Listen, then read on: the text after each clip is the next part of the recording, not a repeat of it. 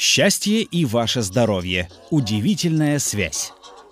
Сегодня мы расскажем вам об открытии, которое сделал Ли Берг, профессор университета Лома-Линда. Он потратил больше 30 лет на изучение смеха и на то, какой эффект он оказывает на наш организм. Берг обнаружил, что смех снижает количество гормонов стресса, укрепляет иммунную систему и ускоряет выброс эндорфинов. Всем хорошо известно, что физические упражнения полезны для здоровья, с этим никто не поспорит, но неужели смех оказывает тот же эффект? Полагаю, что да, при условии, если человек смеется по полчаса в день, и так 3-4 раза в неделю, но лучше чаще. Хороший рецепт. Да, еще это доставляет удовольствие. На протяжении года Берг проводил исследования с участием людей с сердечно-сосудистыми заболеваниями. Их разделили на две группы. В первой добровольцы ежедневно по полчаса смотрели сериал «Друзья». Во второй группе пациенты проходили обычное лечение, но уже без всяких комедий. Людям из первой группы понадобилось меньше препаратов вроде бета-блокаторов или нитроглицерина. Но что самое поразительное за время эксперимента, в смеющейся группе повторный сердечный приступ был выявлен только у 8% пациентов, а в обычной этот показатель составил 42%. Мы нашли лекарство, с которым можно было бы смело ехать в Стокгольм. Вы имеете в виду соискание Нобелевской премии? Да. Даже предвкушение самого смеха несет ту же пользу. Это то, что Берг называет биологией надежды. И сегодня в нашей программе поговорим о лекарстве, которое вы принимаете, когда видите клоунов. Пожалуй, нет другого момента, когда ребенок так нуждался бы в смехе. Увидеть клоунов в действии и оценить их вклад в том числе в науку. Доктор Мари Аню возглавляет в этой клинике педиатрическое отделение. Я очень хорошо запомнила одного ребенка, который провел в больнице больше полугода. Как-то раз он увидел клоунов и начал поправляться. Значит ли это, что смех может считаться узаконенным лекарством? Может ли он лечить? Это не альтернативная медицина. Нет ничего альтернативного в том, что само ваше тело является частью процесса выздоровления.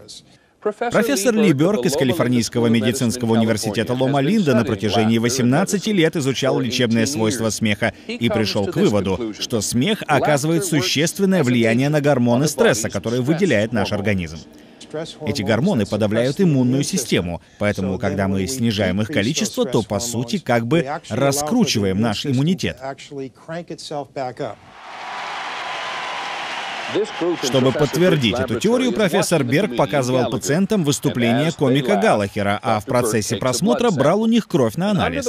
И вот что обнаружилось под микроскопом. Смех увеличивает в иммунной системе количество естественных клеток. Они способны бороться с клетками, которые заражены различными вирусами и даже раком. Выводы, сделанные профессором Берком, уже приняты многими в медицинском сообществе, хотя клоуны знали об этом на протяжении всей истории. В конце концов, древние греки недаром строили свои больницы рядом с амфитеатром, чтобы пациентов можно было развлекать. Одно мы знаем точно. Смех не может навредить.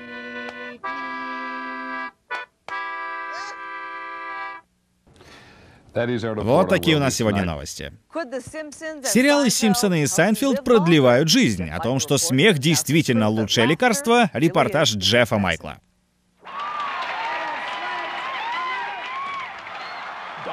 До этого дня врачи не знали о важном значении чувства юмора.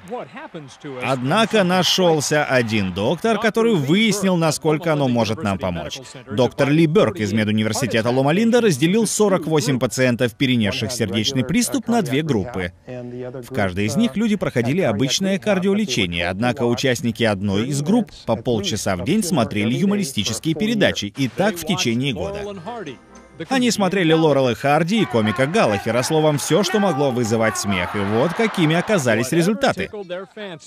В группе, где смотрели комедии, повторные сердечные приступы были зафиксированы лишь у двух пациентов. В другой, обычной группе таких случаев было 10.